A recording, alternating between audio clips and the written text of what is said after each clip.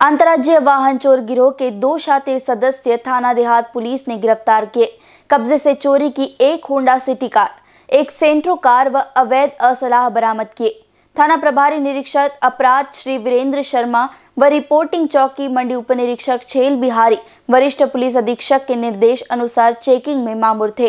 तभी प्रभारी निरीक्षक श्री वीरेंद्र शर्मा को मुखबिर से सूचना मिली, कुछ बदमाश चोरी की दो गाड़ियों से अनूप शहर की ओर से आने वाले हैं। सूचना के आधार पर तत्काल कार्रवाई करते हुए श्री वीरेंद्र शर्मा हजरतपुर की पुलिया पर पहुंचकर सघनता से चेकिंग करने लगे।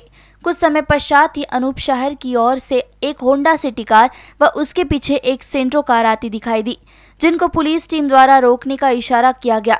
पुलिस को देख बदमाशों ने भागने का प्रयास किया। होंडा सिटी में सवार दो बदमाशों को पुलिस ने गिरफ़्तार करने में कामयाबी हासिल की। गिरफ़्तार अभियुक्तों से अवैध असलाहमय कारतूस व एक नाजायज छुरी बरामद की। वहीं पीछे से आ रहे सेंट्रो कार में सवार दो अभियुक्त फरार होने में कामयाब हो गए। जानकारी के अनुसार दोनों अभियुक्त अंतर जनपदीय गिरोह के शातिर सदस्य है, जिनके द्वारा अपने दो साथियों के साथ होंडा सिटी कार को सिकंदराबाद से चोरी की गई थी तथा सेंट्रो कार को भी ट्रेस किया जा रहा है। अभियुक्तों द्वारा चोरी की गई कारों की नंबर प्लेट बदलकर आसपास के क्षेत्रों में बेच दिया जाता था। अभियुक्त हसीन के विरुद्ध बुलंदशहर व मथुरा के विभिन्न थानों पर कार चोरी के करीब आधा दर्जन अभियोग पंजीकृत है। गिरफ़्तार अभियुक्त हसीन व कासिफ बरामदगी कुछ इस प्रकार।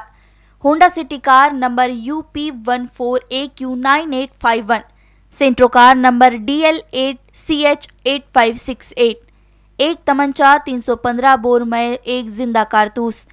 छुरी नाजायज इन बीसी न्यूज़ के लिए बुलंदशहर से जावेद खान के साथ मोहित भुटानी की रिपोर्ट।